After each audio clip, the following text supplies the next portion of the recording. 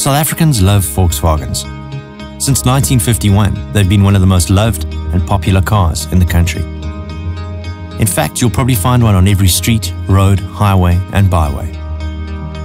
But how can we actually show people that thanks to German engineering, many of these cars are still on our roads today? Luckily for us, someone had gone to the trouble of photographing just about every single Volkswagen on the streets of South Africa. Google Street View. All the Volkswagens were there, the new ones, the old ones, the crazy ones. The hard part was finding them all. So we launched an online game using Google Street View technology and combined it with the sociability of Facebook. We called it Volkswagen Street Quest. We challenged Volkswagen Facebook fans to find and pin as many Volkswagens as possible in weekly quests.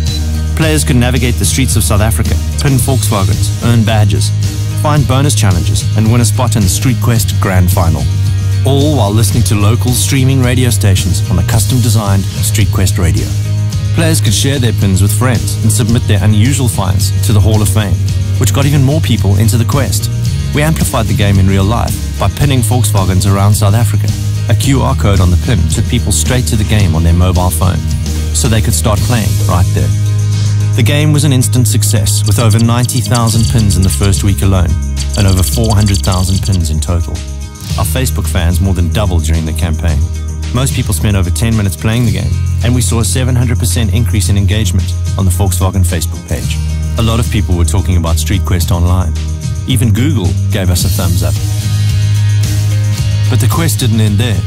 We flew the four winners of the weekly quest to Cape Town to compete in the grand final. But this time, it was Street Quest in real life. Four players had eight hours to find as many Volkswagens as possible on only one tank of petrol. Loyal Street Quest fans that couldn't be there watched the grand final online. And when Street Quest finally came to an end, one thing was certain. There really are a lot of Volkswagens in South Africa.